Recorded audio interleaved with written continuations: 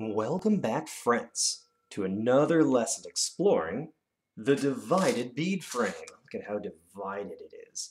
Now, last time we looked at short division. This time let's look at long division. Um, what exactly is the difference between short and long division? Do you know that? Yeah, well, short division has one digit in the divisor. Long has more, and we're going to try one of those today. You're going to need a piece of graphing paper and a pencil and a strip of paper for the divisor.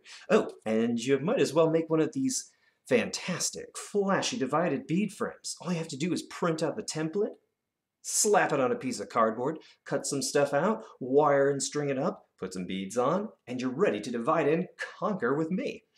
Well, if you are ready, let's do a problem like 35,917 divided by 42. And this time when we write it, let's use a tableau. It's that little thing that looks sort of like, uh, you know, a tableau. Let's put in our divisor, 42, and the tableau, and the dividend, 35,917. And that's what it looks like. See that beautiful tableau? Hmm. Okay, on our bead frame, let's get our dividends set up. Seven units, one ten, nine hundreds, five thousands, and three ten thousands. There it is. And our divisor will write on a strip of paper, making sure to line it up with these categorical holes. So four tens, two units. There we go. And where exactly do we put this? Where do we start? Remember, we have that metaphor of how division can be like a tiger. Would you stick that tiger in the biggest box first or the smallest box? Exactly, the largest box you have, avoiding all those scratches and bites. We're going to start right here with our 10,000s and thousands, and taking away a group of four and two, Exactly. We can't do it here. There's nothing to do. Uh, we're sort of looking at 35, and that's just not enough for our divisor. So we slide down to the next two categories, the thousands and hundred thousands.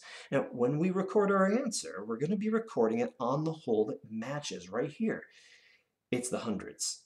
So we'll see things dropping down on that in a moment to give us the first digit of our answer. Ready?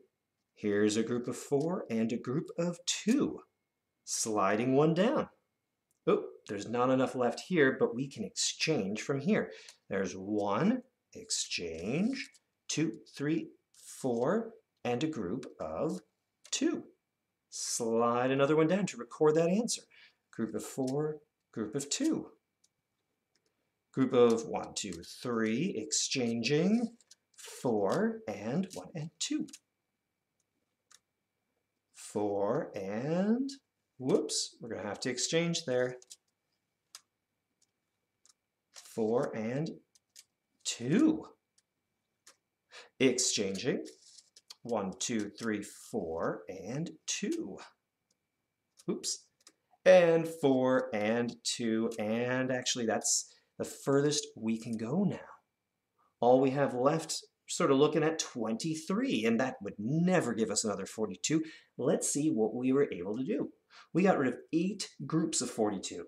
Let's write that down. And we're writing it down above the hundreds. Look at us go across our tableau. Okay. And the next thing to do is to slide that divisor down. Let's take away another group of 42. Well, we can't yet, right? We've got to sort of do some exchanging. So one, two, three, exchange, bring that down, and four. And actually, we have to exchange again in order to complete that one. All right, let's bring one down. Another group of four and two, bring one down. Another group of four and two, bring one down. Okay, let's exchange. And another group of four and two, bring one down. Another group of four and two, bring one down. And there we go for now. We have a little bit left over, but we can't do anything more for now. Let's count up what we have on our tens digit. Five. And let's record that. We're one step away from seeing our answer. So far we have 850, and oh, 850 what? Hmm, I don't know. Well, let's find out. We're going to slide down to our next one. All right. Well, let's take away one, exchange, bring down, and there's the rest of that, and there's two. There's a group of four and a group of two. There's a group of three we're going to exchange to get rid of that last one, and there's two. A group of four. There's one. Let's exchange, and two and four and two, and we're through. We don't have enough left. We actually have something left over there. Uh, do you see what that is? Yeah, seven, right? And how much did we get for our answer? 855. So an 855 with a remainder of seven. How cool is that?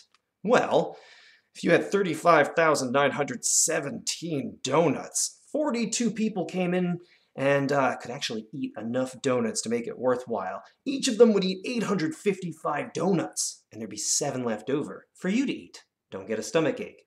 So make one of these bead frames and learn how to divide and conquer just like me. It's pretty fantastic, and I can't wait to see you do it.